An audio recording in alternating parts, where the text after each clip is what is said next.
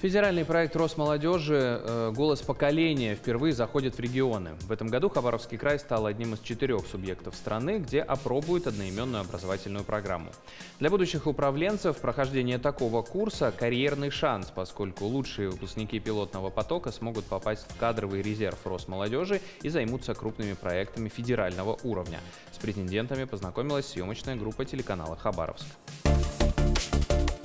Новые постояльцы в гостиничном комплексе «Заимка». Около ста молодых жителей со всего Хабаровского края заселились сюда на неделю – учиться управлять. Все они – курсанты пилотного проекта Росмолодежи «Голос поколения. Регионы».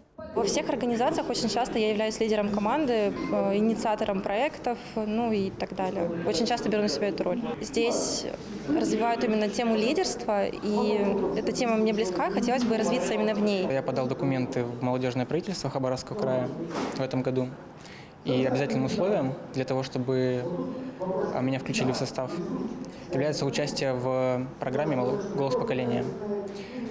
И как раз-таки здесь мы можем получить э, ценный опыт. Ценный опыт общения с людьми, а, получения каких-то навыков и какой-то новый виток развития. Всю неделю участники будут решать задачи от краевых министерств – спорта, культуры, образования и науки, а также от регионального комитета по делам молодежи. Самые активные курсанты смогут занять места в управленческом резерве Росмолодежи. Это даст им возможность работать над крупными федеральными проектами, не покидая родной регион.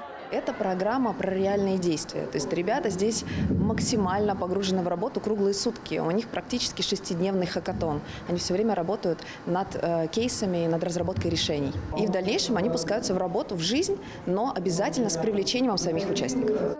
Сама программа «Голос поколения» не нова. Три потока с 2020 года Росмолодежь уже выпустила. Однако раньше это была только федеральная история. Сейчас же, с этого года, проект заходит в регионы. Дебютанты – Владимирская и Архангельская области, Красноярский и Хабаровский край.